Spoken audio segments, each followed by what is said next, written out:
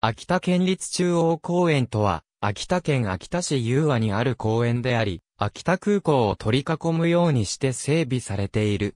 2007年の秋田我が杉国体では、開閉式が行われたメイン会場となり、陸上競技、テニスの競技会場となった。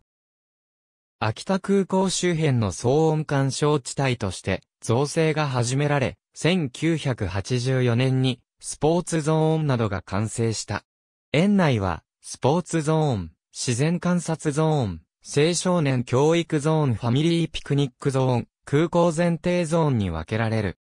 青少年教育ゾーンにあるフィールドアスレチックは東北最大級の規模を誇り、高さ30メートル近いアスレタワーがシンボルとなっている。自然観察ゾーンには、キャンプ場があるほか、ファミリーピクニックゾーン、空港前提ゾーンには、空港来訪者の利用も考慮した、様々な広場などが整備されている。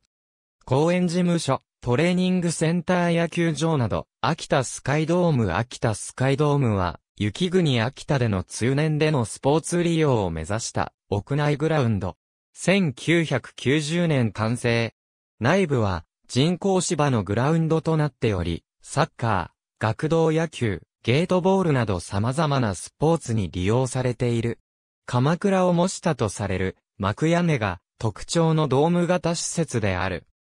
2021年4月から全面張り替えの予定となっているが、同年1月13日に積雪の重みにより幅約6から7メートル、長さ約5メートルにわたり破損したためシートで覆われた。秋田中央交通国際教養大学後、ところの選バス。ありがとうございます。